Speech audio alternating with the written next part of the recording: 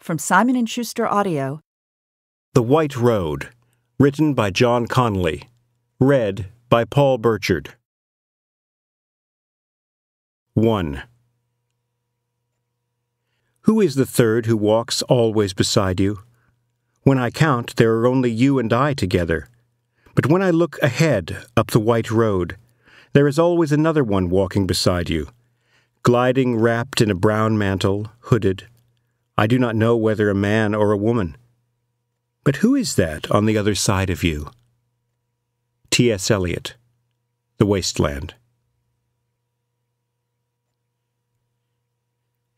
Prologue They are coming. They are coming in their trucks and their cars, plumes of blue smoke following them through the clear night air like stains upon the soul. They are coming with their wives and their children, with their lovers and their sweethearts, talking of crops and animals and journeys they will make, of church bells and Sunday schools, of wedding dresses and the names of children yet unborn, of who said this and who said that, things small and great, the lifeblood of a thousand small towns, no different from their own. They are coming with food and drink, and the smell of fried chicken and fresh baked pies makes their mouths water. They are coming with dirt beneath their nails and beer on their breath. They are coming in pressed shirts and patterned dresses, hair combed and hair wild. They are coming with joy in their hearts and vengeance on their minds, and excitement curling like a snake in the hollow of their bellies. They are coming to see the burning man. The two men stopped at Siebert Yakin's gas station, the friendliest little gas station in the South, close by the banks of the Ogeechee River on the road to Cana. Siebert had painted this sign himself in 1968 in bright yellows and reds, and every year since then he had climbed onto the flat roof on the first day of April to freshen the colors so that the sun would never take its toll upon the sign and cause the welcome to fade. Each day the sign cast its shadow on the clean lot, on the flowers in their boxes, on the shining gas pumps, and on the bunkers filled with water so that drivers could wipe the remains of bugs from their windshields. Beyond lay untilled fields, and in the early September heat, the shimmer rising from the road made the sassafras dance in the still air. The butterflies mixed with the falling leaves, sleepy oranges and checkered whites and eastern tailed blues, bouncing upward in the wake of passing vehicles, like the sails of brightly colored ships tossing on a wild sea. From his stool by the window, Siebert would look out on the arriving cars, checking for out of state tags so that he could prepare a good old Southern welcome, maybe sell some coffee and donuts, or shift some of the tourist maps, the yellowing of their covers in the sunlight signaling the approaching end of their usefulness. Siebert dressed the part. He wore blue overalls with his name sewn on the left breast, and a co op beef feeds cap sat way back on his head like an afterthought.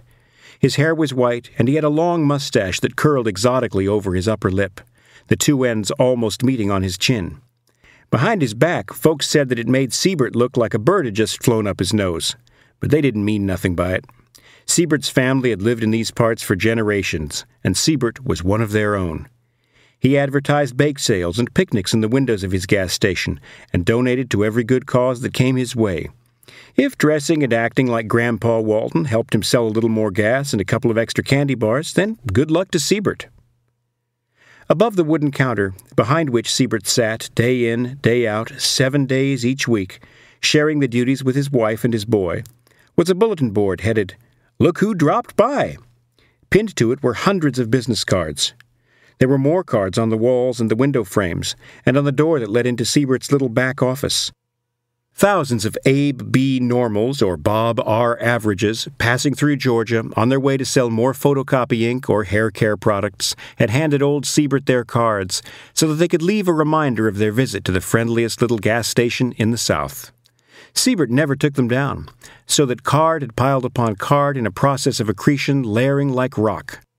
True, some had fallen over the years, or slipped behind the coolers, but for the most part, if the Abe B's or Bob R's passed through again in years to come, with a little Abe or Bob in tow, there was a pretty good chance that they would find their cards buried beneath a hundred others, like a relic of the lives that they had once enjoyed, and of the men that they had once been. But the two men who paid for a full tank and put water in the steaming engine of their piece of shit Taurus just before five that afternoon weren't the kind who left their business cards. Siebert saw that straight off, felt it as something gave in his belly when they glanced at him. They carried themselves in a way that suggested barely suppressed menace, and a potential for lethality that was as definite as a cocked gun or an unsheathed blade. Siebert barely nodded at them when they entered, and he sure as hell didn't ask them for a card. These men didn't want to be remembered, and if, like Siebert, you were smart, then you'd pretty much do your best to forget them as soon as they'd paid for their gas, in cash, of course, and the last dust from their car had settled back on the ground. Because if at some later date you did decide to remember them, Maybe when the cops came asking and flashing descriptions, then, well, they might hear about it, and they might decide to remember you, too. And the next time someone dropped by to see old Siebert, they'd be carrying flowers, and old Siebert wouldn't get to shoot the breeds or sell them a fading tourist map because old Siebert would be dead and long past worrying about yellowing stock and peeling paint. So Siebert took their money and watched as the shorter one, the little white guy who had topped up the water when they'd pulled into the gas station, flicked through the cheap CDs and the small stock of paperbacks that Siebert kept on a rack by the door. The other man, the tall black one with the black shirt and the designer jeans, was looking casually at the corners of the ceiling and the shelves behind the counter loaded high with cigarettes. When he was satisfied that there was no camera, he removed his wallet and, using leather gloved fingers, he counted out two tens to pay for the gas and two sodas, then waited quietly while Siebert made change. Their car was the only one at the pumps. It had New York plates, and both the plates and the car were kind of dirty, so Siebert couldn't see much except for the make and the color and Miss Liberty peering through the murk. You need a map? asked Siebert, hopefully. A tourist guide, maybe? No, thank you, said the black man. Siebert fumbled in the register. For some reason, his hands had started to shake. Nervous, he found himself making just the kind of inane conversation that he had vowed to avoid.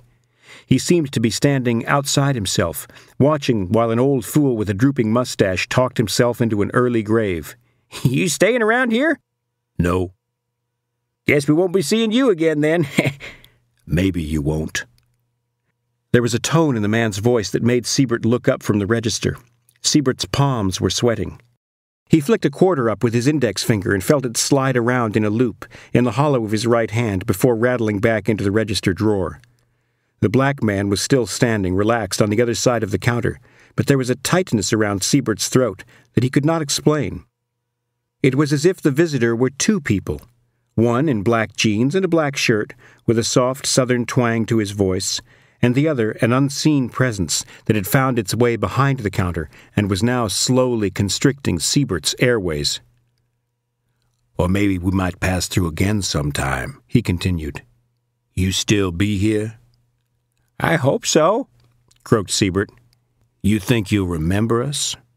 The question was spoken lightly, with what might have been the hint of a smile, but there was no mistaking its meaning. Siebert swallowed. Mister, he said, I've forgotten you already.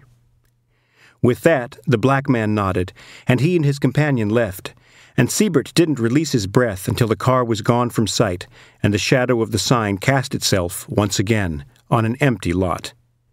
And when the cops came asking about the men a day or two later, Siebert shook his head and told them that he didn't know nothing about them. Couldn't recall if two guys like them had passed through that week. Hell, a lot of people passed through here on the way to 301 or the interstate. Kept the place going like a turnstile at Disney World. And anyway, all them black fellers look alike. You know how it is. He gave the cops free coffee and Twinkies and sent them on their way, and had to remind himself, for the second time that week, to release his breath. He looked around at the business cards arrayed on every previously blank stretch of wall, then leaned over and blew some dust from the nearest bunch. The name Edward Boatner was revealed. According to his card, Edward sold machine parts for a company out of Hattiesburg, Mississippi. Well, if Edward came through here again, he could take a look at his card. It would still be here, because Edward wanted to be remembered. But Siebert didn't remember nobody that didn't want to be remembered. He might have been friendly, but he wasn't dumb. A black oak stands on a slope at the northern edge of a green field, its branches like bones set against the moonlit sky. It is an old, old tree. Its bark is thick and gray, deeply furrowed with regular vertical ridges, a fossilized relic stranded by a long departed tide. yet as much a part of this solitary tree as the leaves on its branches and the roots in its soil is the smell of gasoline and burning flesh, of human waste and singeing hair. We hope you enjoyed this preview. To continue listening to this audiobook on Google Play Books, use the link in the video description.